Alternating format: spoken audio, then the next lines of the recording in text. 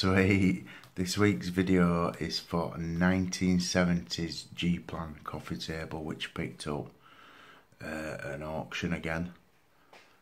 Um, it was quite orangey. The glass in it is just like a smoky orange and the wood was like an orange effect. So uh, we sanded it down because it was a bit too orangey. So I sanded it right down, um, put some linseed oil on, then give it a coat of wax wanted to bling it up a bit, so we uh, got a piece of perspex and used a glass glass as a template uh, to cut the to cut the size. So we inserted a piece of perspex into it, and to sort of bring it, you know, bring it into this sort of century and all that. And I thought, well, it looked really really nice in it, like a girl on a man cave.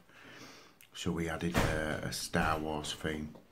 I did cut it out on vinyl on my vinyl cutter, put it on the perspex. It, it looked bubbly, so I didn't I didn't like that effect. So uh, I got a, a new like sort of like hand router sort of thing, little little multi-tool thing. So I used uh, I thought I'd try engraving.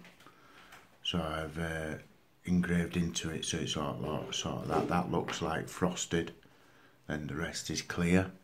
Um, it turned out nice. Um, I could have had some better results. I don't know.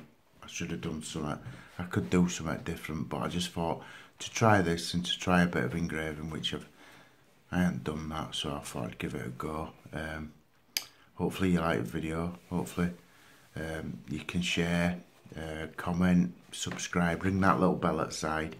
Uh, thank you for subscribers I've got. Thank you for any what of any new subscribers I've got.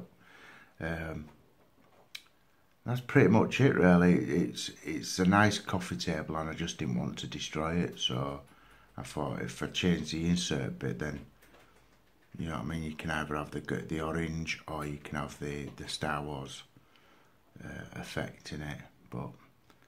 Uh, yeah, pretty simple little uh, little design, little video. Um, enjoyed it. Um, learned a bit on route on on engraving into perspex and that, which uh, learned some mistakes as well. But yeah, thanks for watching and uh, see you next week. Bye.